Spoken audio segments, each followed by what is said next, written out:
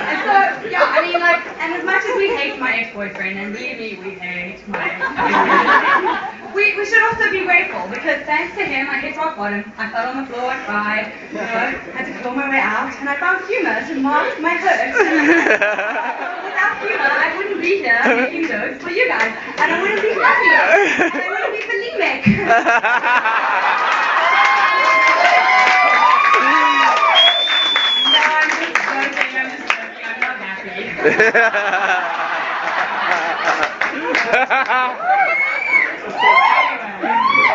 So, I mean, you know, now I'm dating again. Well, well, trying.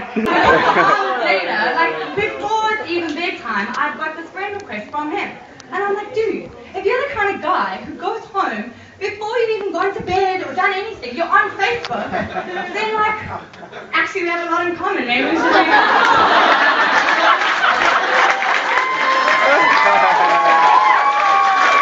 ハハハハ。